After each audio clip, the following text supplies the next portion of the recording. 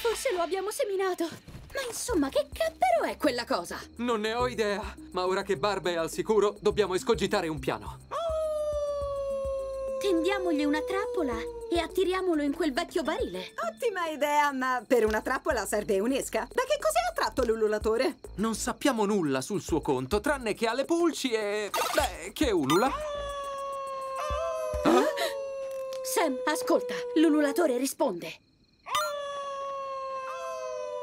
Spegnilo, spegnilo! No!